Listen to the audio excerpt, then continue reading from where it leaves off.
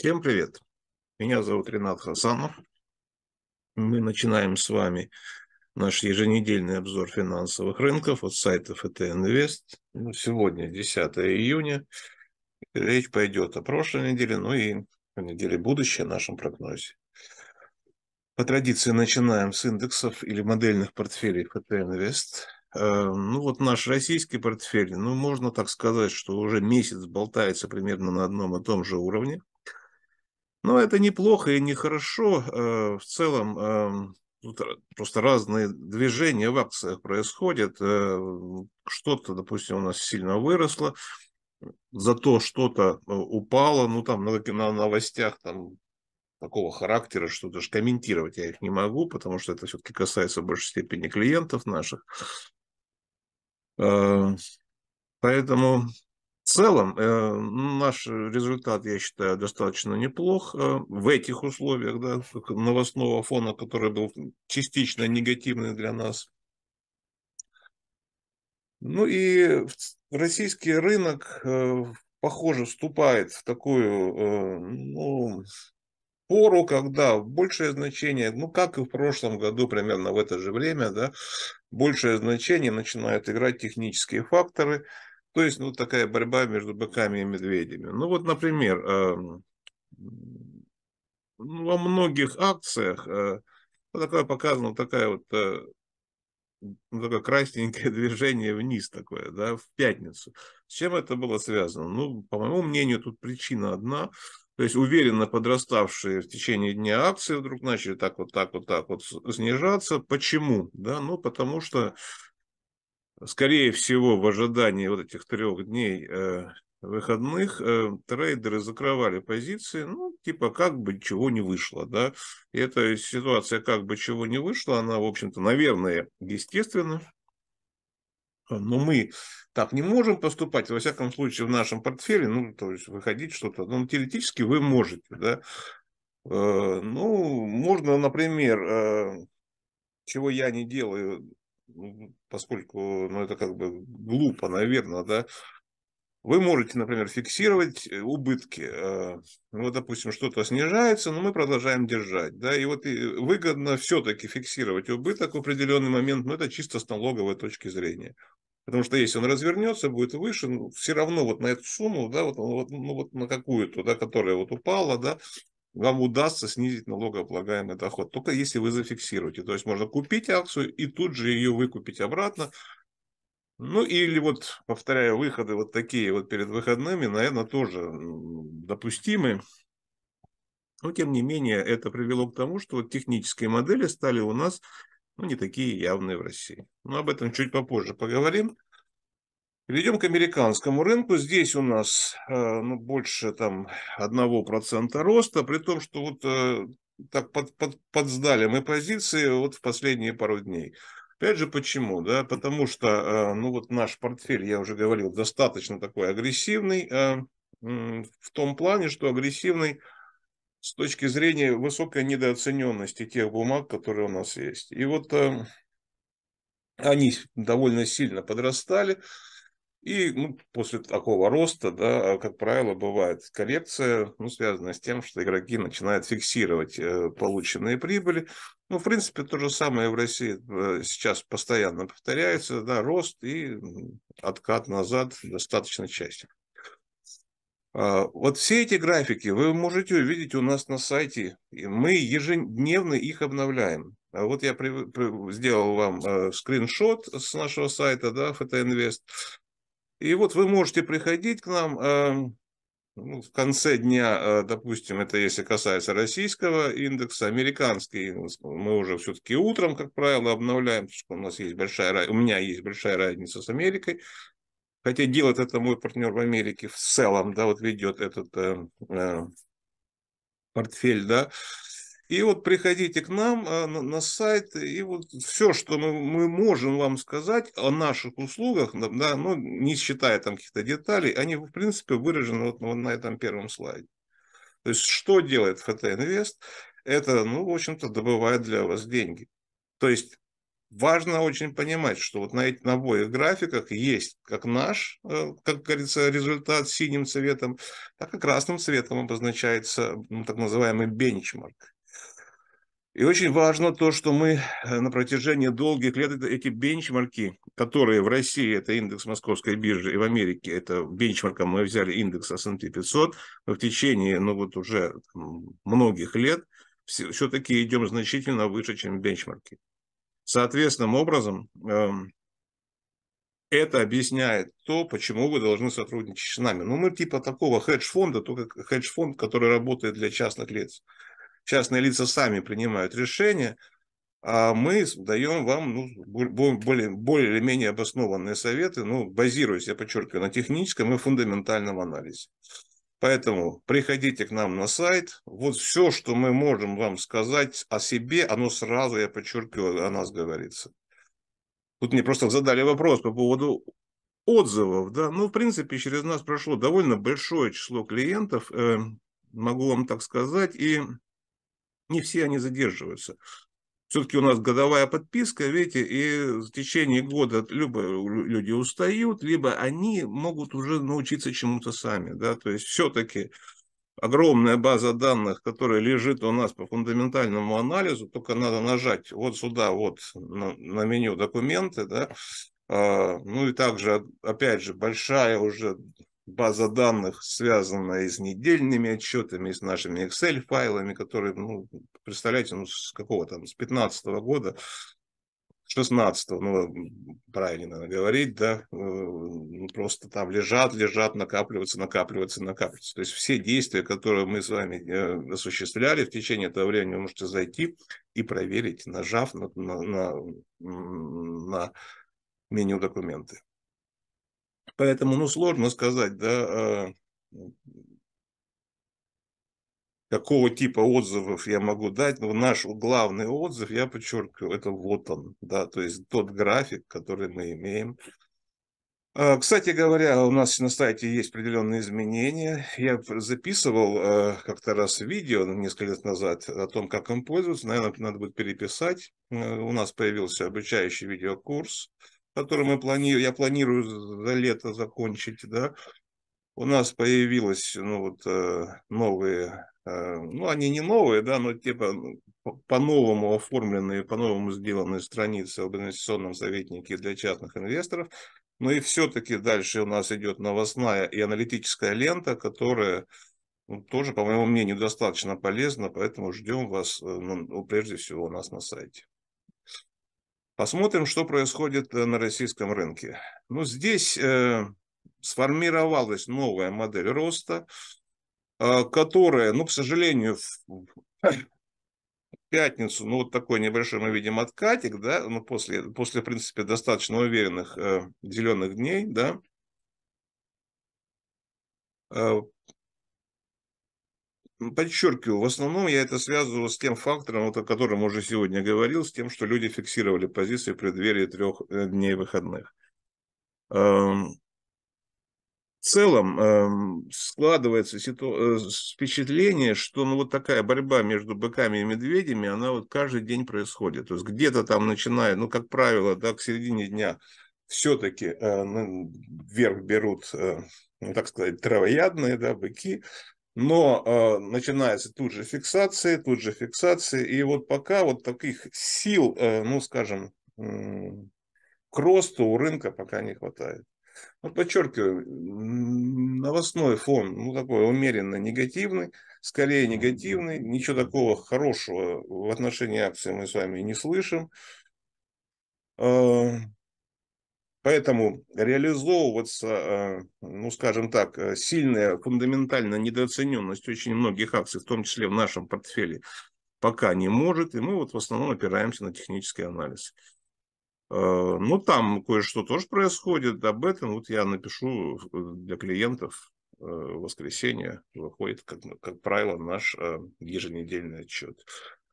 В целом наш портфель по-прежнему полностью заполнен. Эм, не исключено, что что-то мы будем там уже выходить, э, поскольку ну, вот этот рост, ну, ну, видите, ну, может быть, что он и выдыхается в определенной мере.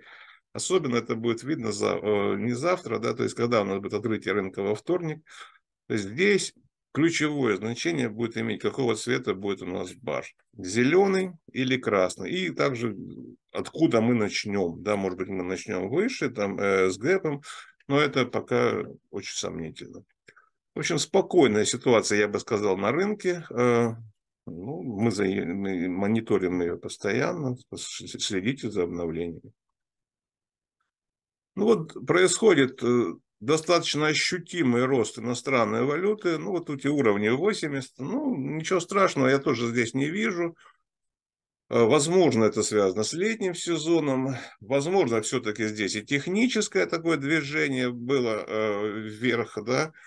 А, ну вот, например, если мы посмотрим китайский юань, ну, он не так активно, во всяком случае, с максимум, от максимумов он дальше, да, обратите внимание, но поскольку очевидно, что ликвидность юаня сейчас выше, э, чем ликвидность доллара. То есть, ну, кому-то там нужны доллары, я не знаю, там, возможно, для уже иностранных поездок за границу, на отдых, да, вряд ли с юанями кто-то ездит куда-нибудь в Турцию, да, а, ну, может быть, это вызывает вот такое, ну, хотя все-таки движение идет все-таки плавно вверх, но нельзя исключать того, что разворот наступит ну, в ближайшие дни. Об этом тоже мы напишем э, в нашей новостной ленте. Индекс РГБА, ну, так тоже продолжает свое снижение, то есть доходность э, не, ну, практически не меняется в России. Ключевая ставка осталась неизменной Центробанка. Ну и я вот в прошлый раз на эту тему рассуждал, сейчас могу тоже повториться. Эм, ну, очевидно, что российская экономика сейчас в, таком, в такой период бума вступает, связано и с импортозамещением, да, и с высоким спросом со стороны государства в рамках э, специальной военной операции. Э, поэтому ожидать какого-то роста, да, вот облигаций, например, пока не приходится. Ну и действия со стороны Центробанка тоже, я думаю, не стоит ожидать по стимулированию там развития экономики, но она раз сама хорошо развивается, зачем э, это делать? Скорее они будут думать о перегреве, там, об инфляции и по вот о таких причинах. Посмотрим на международную повестку дня. Здесь, ну вот, э, все такое может быть, это и боковики, конечно, да, но могу вам констатировать, что нефть, например, э, имеет модель негативную. Ну, про нефть тут можно ну, много рассуждать, но вот смотрите, какие новости выходят. Э, вы, когда я написал в своем телеграм-канале, пожалуйста, присоединяйтесь тоже, да, ну вот сокращение генерации электроэнергии на ну, практически 8% за один квартал Германии, это что-то нереальное, понимаете?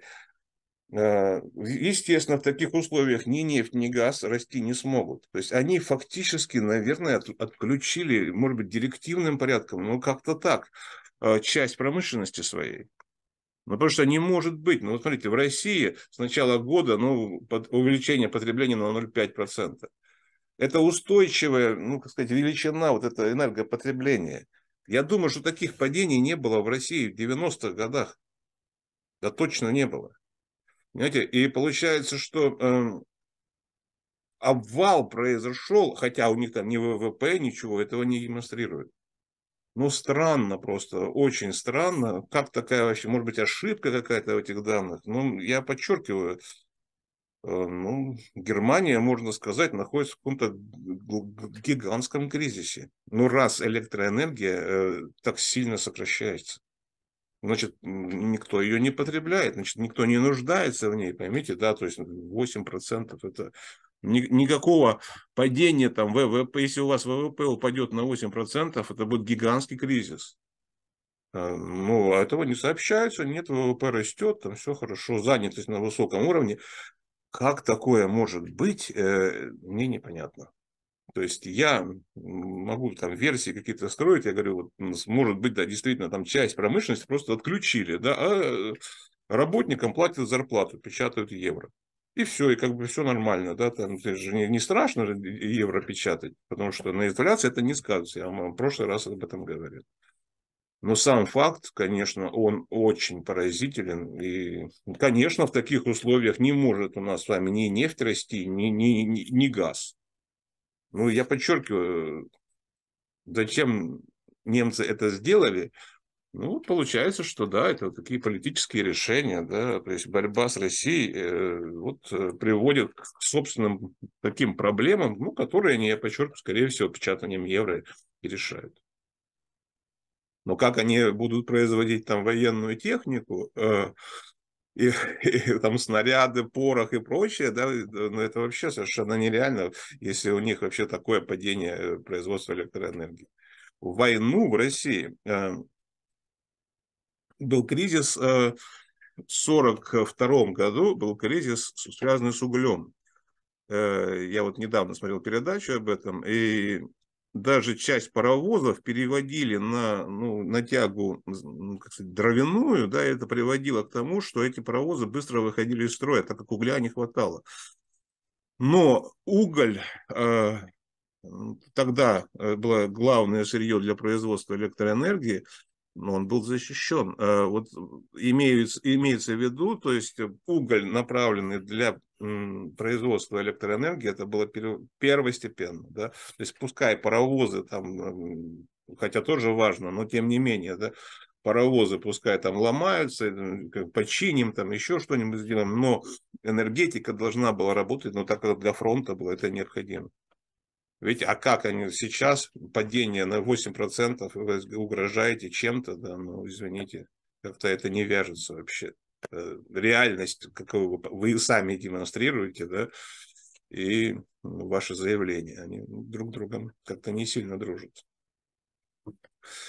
Биткоин, смотрите, здесь тоже, ну, обвала здесь не произошло. Вот я, честно говоря, вот, вот в эти дни, да, были, были тут вот э, начало недели, негативные новости, связанные с тем, что сначала там на одну криптобиржу американский регулятор, э, СЕК так называемый, да, то есть э, американский регулятор фондового рынка, у нас такого аналога нет, у нас Банк России выполняет функцию мегарегулятора. А, подал сначала на одну биржу Binance, потом на другую биржу суд Coinbase, да, и вроде как оттуда начался сильный-сильный отток клиентов, что не могло не сказаться на стоимости биткоина, но тем не менее, вот я говорил про вот эти уровни, да, вот эти уровни они смогли удержать. Сейчас ну, все равно негативная волна накрывает, ну, не знаю, удастся ли вот уже вот эти, да, сопротивления сохранить. Но пока э, криптовалюта находится не в самом лучшем положении, ну, вот что мы видим из графика. Золото чуть-чуть по-другому. Здесь, очевидно, найден вот какая-то такая опорная модель, а, от которого ну, можно оттолкнуться вверх. А, пока говорить э, там, о перспективах на больше ну, сложно, но тем не менее, скорее всего, все-таки вот здесь ну, вот такое вот нагромождение вот, да, вот этих палок, да, так называемых, оно ну, вот, говорит нам о том, что вот какое-то дно у золота найдено, если у вас есть желание там войти в золотые акции какие-нибудь, да, или, например, купить там золото, ну, допустим, там на той же московской бирже это возможно, да, то, в принципе, можете попробовать. Или фьючерс, да. Э, индекс доллара и доходность облигаций, вот они как-то начинают двигаться вниз, и, наверное, это ну вот помогает американским мега-акциям, как вот их мой партнер Игорь называет, да, э, ну, ставить какие-то новые рекорды, э, ну, что абсолютно, по-моему, чушь, да, но тем не менее это происходит. Итак, обратите внимание, здесь у нас индекс доллара разворачивается вниз, и похоже, ну тут не совсем четко, но и похоже такая же модель формируется в доходности облигаций. Она ранее формировалась, и вот еще одна, да. Ну то есть э, все-таки покупают, покупают эти американские облигации, э, идет вниз, может начаться вниз движение доходности, ну и это будет значить, что оценки акций становятся еще более большими, большими, да, там дисконтирование, потому что уменьшается, ну и соответственным образом мы видим, что американский фондовый рынок растет, но я вам говорил, что он будет расти, но вот он растет, да. Э, резюмируя, повторяю, российский рынок пока сложно судить, э, но в большей степени оптимистичен здесь я, Ну, американский рынок э, похоже, что начинает вступать в новую такую бычью стадию может перейти, уже перешел по некоторым оценкам в бычий рынок, ну и, соответственным образом, можно ждать долгосрочного, ну, среднесрочного роста американских акций. На этом все. Всем спасибо за внимание.